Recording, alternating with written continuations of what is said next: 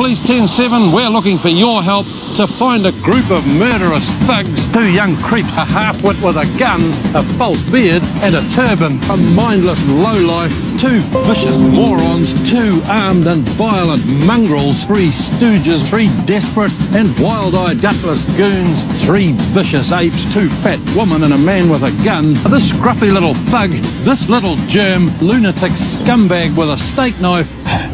I'll be looking for more help from you later on.